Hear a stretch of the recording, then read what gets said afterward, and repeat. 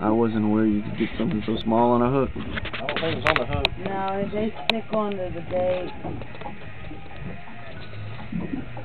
Well, Gerald, you hold the record. You gonna skunk us, dude? Caught an octopi.